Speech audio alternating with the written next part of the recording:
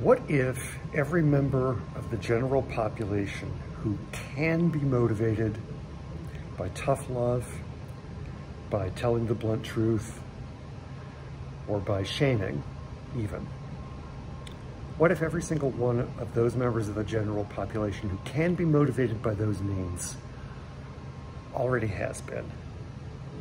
What if everybody that's gonna get off the couch and start moving and develop consistency because somebody told them, hey, you're too heavy, or hey, this is good for you, or hey, your life expectancy will be better, or hey, we don't like you unless you do what we say. What if all those people have already been reached? The fitness industry can tell us lots of different ways to do a squat or a bench press. It can sell us different kinds of bicycles for different kinds of road conditions or different kinds of off-road conditions. But when it comes to encouraging people to prioritize their own health, we don't seem to have a lot of tools in the toolkit.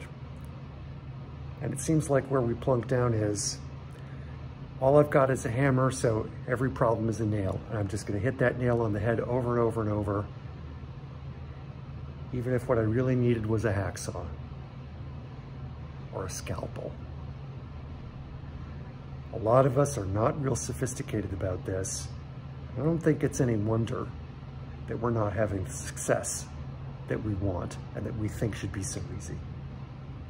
Just food for thought. If you've made it this far in the video, first of all, thank you.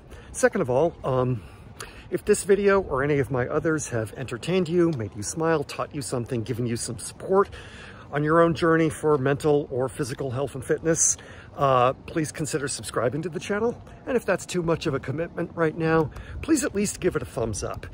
Thanks for your time. Thanks for your support. Thanks for your attention. Go kick some butt, including your own, in a good way. Love ya.